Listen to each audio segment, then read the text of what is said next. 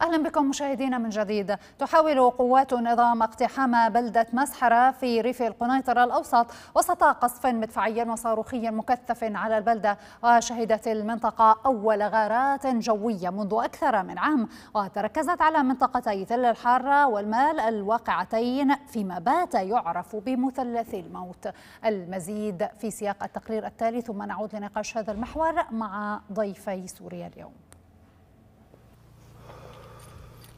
إلى القنيطرة والتي تختلف عن غيرها بحساسية خاصة نظرا لضمها هضبة الجولان والتي تحتلها إسرائيل. وعلى الرغم من تعقيدات مشهدها الجغرافي والعسكري إلا أن قوات النظام تحاول التقدم إليها بعد سيطرتها على مساحات شاسعة من درعا. ويبدو أن النظام يتجه نحو التصعيد في القنيطرة وذلك مع استعداد خروج أول دفعة من مهجري درعا للمغادرة باتجاه إدلب في الشمال السوري.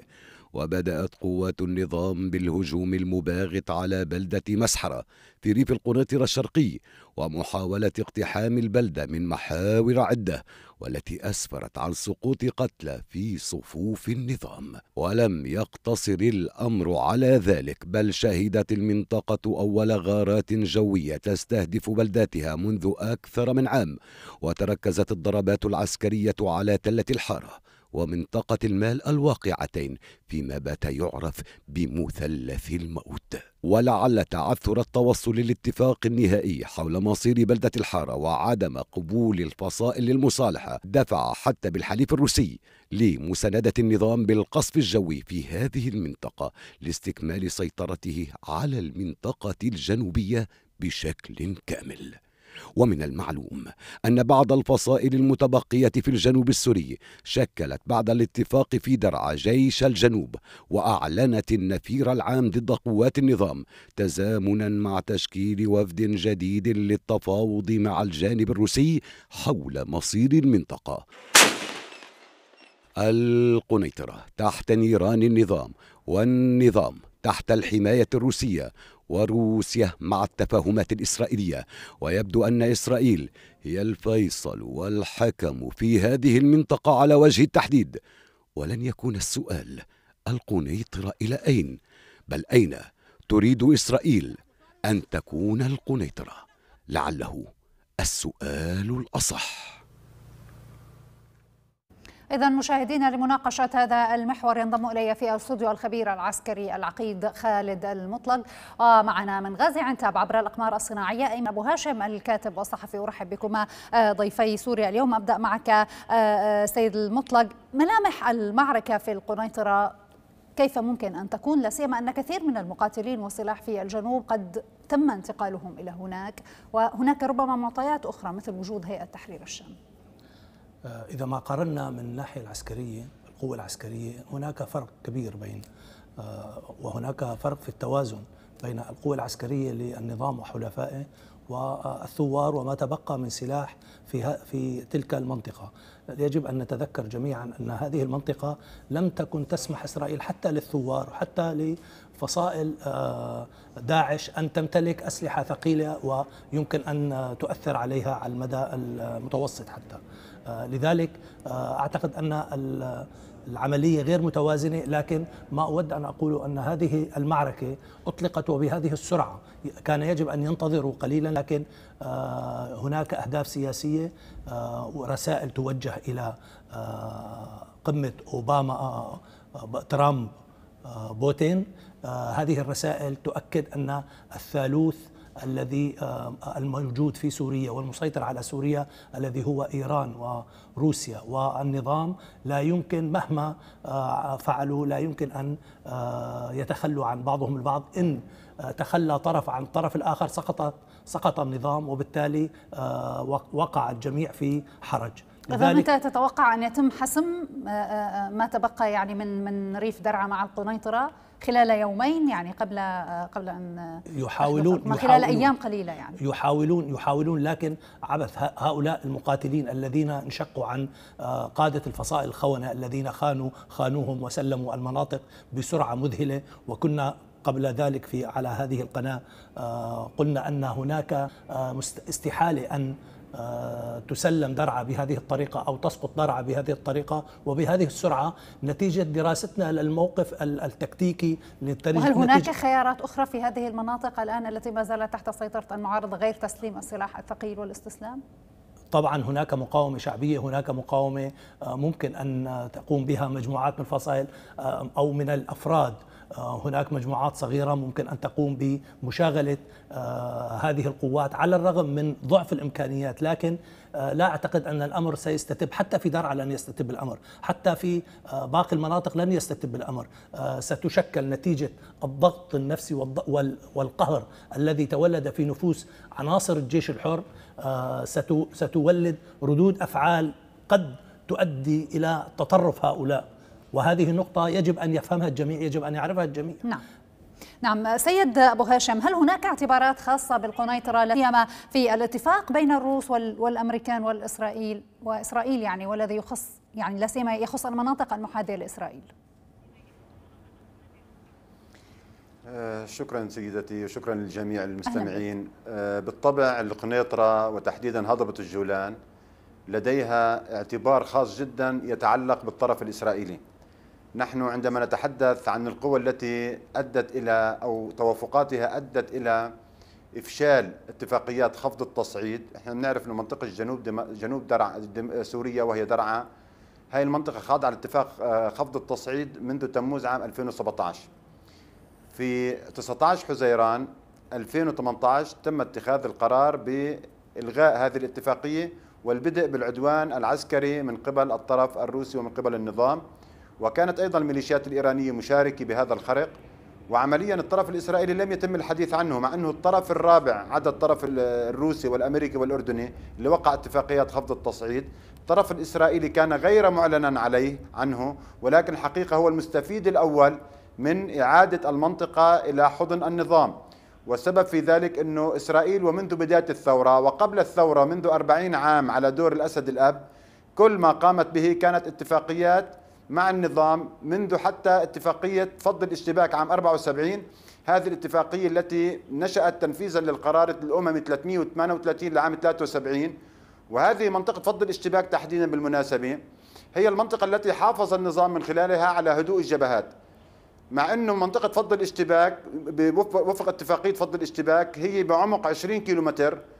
بالنسبة إلى الحدود الأمامية أو الخطوط الأمامية للطرفين اللي هو طرف النظام والطرف الإسرائيلي من الجانب الآخر. نعم. النظام حافظ على منطقة فض الاشتباك كمنطقة هادئة لمدة 40 عام والإبن يكمل المهمة والآن ما يجري في القنيطرة طيب يعني تحديدا. هو استكمال لما يجري في جنوب مفهوم المعارضة في جنوب سوريا. إذا أردنا آه، أن نرى من منظور المعارضة لماذا برأيك تخوض المعارضة اليوم؟ معركة في هذه المنطقة تعرف نتائجها ربما مسبقا أم هو مجرد محاولة لتحسين شروط التفاوض؟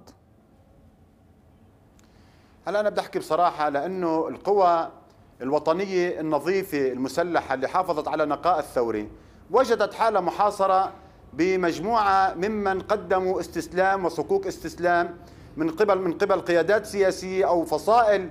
للأسف إحنا اليوم بنسميها بين قوسين جميعهم بالضفادع. هدول الحقيقة راحوا ارتموا بأحضان النظام الروس وقدموا هذه العديد من المدن في درعا في ريفها الشرقي والغربي قدموها هدية للنظام بسبب يعني اولا روح الاستسلام والهزيمة لديهم. في هناك قوى ترفض هذا الخيار.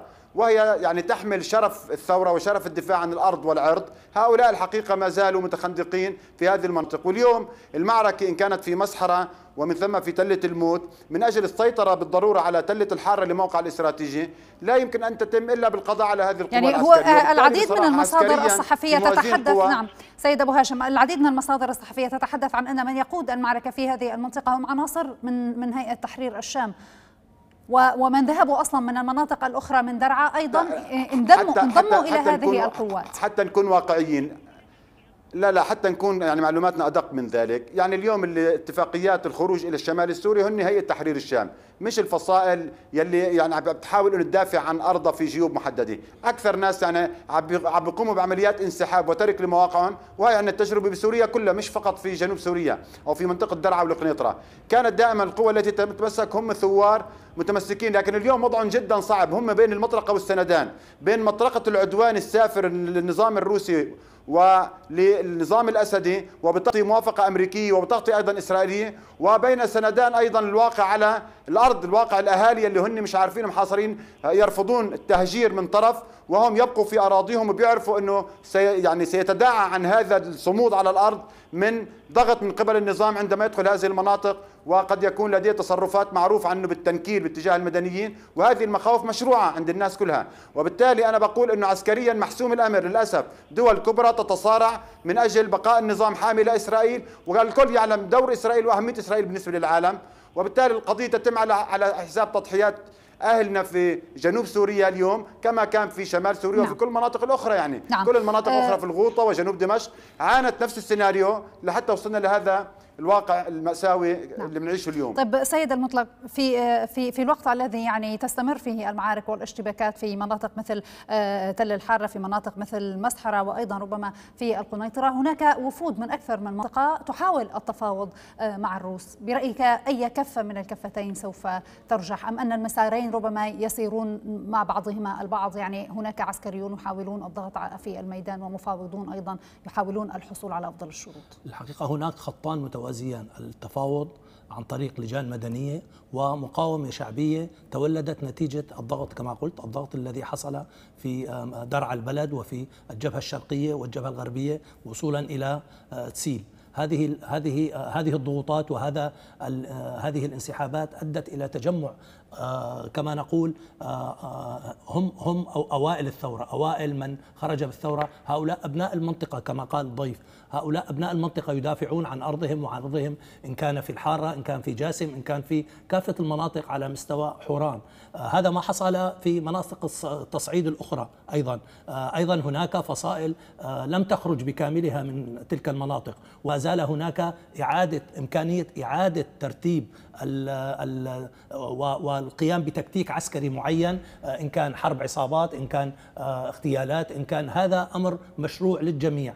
آه، إنما في حوران يحاول النظام وبأسرع ما يمكن هو وحلفائه السيطرة على هذه المنطقة الحيوية للضغط على لتكون هذه المنطقة الاستيلاء على هذه المنطقة هو ورقة ضغط بيد روسيا للضغط على أمريكا لتحسين شروط التفاوض بالنسبة لسوريا نعم. آه، سيد أبو هاشم أريد أن أختم معك المحور بجزئية بما أن اليوم انطلقت باصات آه، آه، التهجير. برأيك لماذا تأخر سريان اتفاق التهجير حتى اليوم؟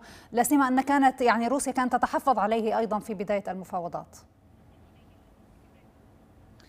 يعني بدون شك تأخير التفاوض تم نتيجة وقائع على الأرض. يعني في هناك قوى موجودة على الأرض كانت ترفض شروط الاستسلام اللي وضع الروس لمصلحة النظام بالطبع لكن أنا بدي ألفت هون النظر لقضية بعتقد جدا مهمة أنه كل ما حصل وحتى الآن في جنوب درعا في جنوب سوريا في منطقة درعا والقنيطرة وما يسمى مثلث الموت وهو امتداد لما حصل في كل مناطق السورية الأخرى.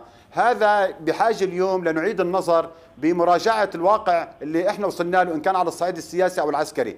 لا يجوز أن يمر ما حصل بدون مراجعة ووقفة نقدية جادة أمام واقع ومستقبل الثورة. إلى أين نحن نمضي في ظل واقع موضوعي يؤكد أن الدول مجتمعة ترفض استمرار الثورة ترفض الانتصار على النظام وفي ظل وجود أيضا إرادة واضحة باتجاه الإبقاء على النظام كحرس وحامي للمصالح الإسرائيلية في المنطقة. وهذا أيضا يتطلب مننا نحن أنه ما نضل نجلد أنفسنا ونعتبر أنه فقط نتيجة أخطائنا وصلنا لهون لا الحقيقة في تضحيات كبيرة قدم الشعب السوري وقدم خلال فترة الثورة السورية وهي تضحيات علينا دائما أنه تكون هي رصيدنا المعنوي والأخلاقي في استمرار ثورتنا إلى الأمام، يجب الاستفادة من الأخطاء اللي تمت، نعم. مراجعتها البناء عليها. من أجل الاستمرار، أنا بعتقد هذا النظام لن يستمر لن يبقى. ما في خيار أمامنا إلا الاستمرار في المعركة في مواجهته، ولكن بتصحيح مسارنا نحو الطريق السليم الصحيح. الكاتب والصحفي أيمن أبو هاشم كنت معنا عبر الأقمار الصناعية من غازي عنتاب شكرا جزيلا لك وشكر موصول لك أيضا آه، آه، العقيد خالد المطلق الخبير العسكري. كنت ضيفي في الاستوديو مشاهدينا الكرام. الشكر موصول لكم أيضا على طيب المتابعة يمكنكم متابعة التفاصيل أوفى والمزيد من المعلومات على موقعنا الإلكتروني Syria dot TV. إلى اللقاء.